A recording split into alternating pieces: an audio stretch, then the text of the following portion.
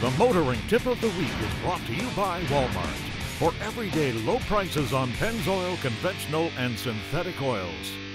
Our motoring tip of the week concerns a winter safety kit.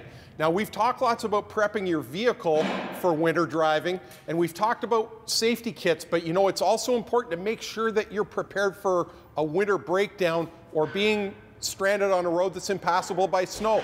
And you know, over the years, weather events seem to be getting more extreme and more frequent. So it's a situation that can come up. A couple of winters ago, Highway 402 between London and Sarnia, hundreds of motorists were caught out there for days when there was a record snowfall, lake effect snow coming off Lake Huron, literally buried that stretch of road. They brought in helicopters, the Army, et cetera, to get people out of there. But in the meantime, in that stretch of time between getting stranded and getting rescued, you have to stay alive. So you need a winter safety kit, things like candles, matches, some fruit, nuts, water to keep you going.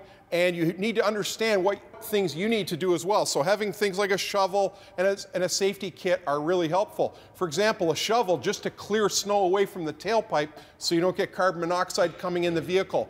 You only run the vehicle once per hour for a few minutes to get a little bit of warmth, conserve fuel that way. Now, if you go to motoringtv.com and go to the Walmart Pennzoil page, you can get some great tips on other things you should do and should have in your vehicle for winter preparedness. But the bottom line is you need to have all this gear prepared and in the vehicle well ahead of time so that if one of those events come up, you're prepared. That's your motoring tip of the week.